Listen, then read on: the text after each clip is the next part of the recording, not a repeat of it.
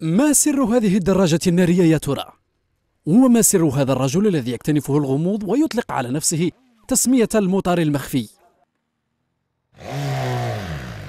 بليغه يا أخي. السلام عليكم. بلا بليغه بلا كاسكه يا العزيز. فكرة المطار المخفي ممزوجة بصرخة خوتي ممزوجة ممزوجة بصرخة وعلاش؟ لأنه السنة 2020 بدأت بكوارث حوا... بحوادث مرور كارثية. ما يخفى لكمش أنا سمعت بحادث المرور تاع واد سوف. يعني بالمناسبة أنا كنت متواجد في أوروبا. يعني تألمت كثير لهذا الحدث المرور. في الظرف الحساس اللي عايشين به آه، الوباء كورونا يعني الأطفال ما تقاسوش ب يعني كثير. يعني ما كاش أطفال ما سمعناش ما سمعناش أطفال ماتوا بالوباء. للأسف الشديد سمعنا أطفال ماتوا بحوادث المرور في تيبازا توفى واحد الطفل صغير يعني هو مسكين والله أعلم كان يبيع المطلوع على حافه الطريق يعني هذا تألمت به كثير ثاني يعني. هذا يعني تألمت ويعني بالخصوص أنه توفى مسكين في يوم العالمي للأطفال.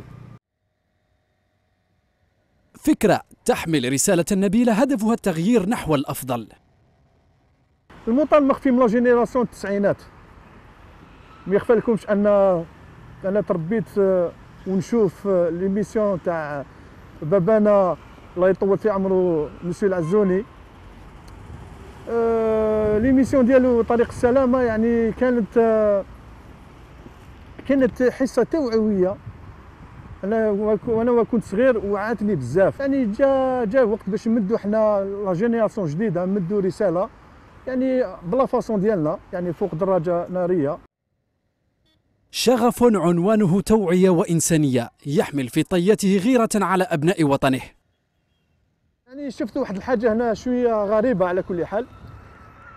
هنا شوفوا معايا خوتي هذا يعني سيت سيت مبل سونترال تاع électrique وهنا يكون في علمكم ان رانا على 20 متر تاع مسيد يعني الدخول المدرسي راهو في سبتمبر يعني مجرد نداء ماذا بينا هذه يغطيوها يعني الا كان يغطوا هاد الايامات خير ما نستناوش حتى اخر لحظه ممكن يجي طفل صغير يحط صبعه هنايا يعني كارثه أنا النصيحه اللي نوجهها للشباب خوتنا الصغار هذوما على كل حال يعني باختصار باختصار شديد نقول لهم essayez d'éviter تجيبوا البلا لعمركم.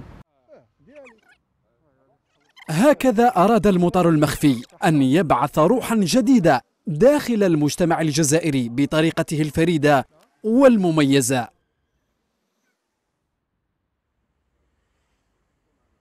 وأنا واحد شخصيا نشجع هذا الإنسان خاطرش الحق كما يقولوا les réseaux sociaux ون كما يقولوا وجه الرسالة. وإن شاء الله هذه الرسالة تكون واضحة. إحنا المهمة تاعنا باش نحميو خاوتنا اللي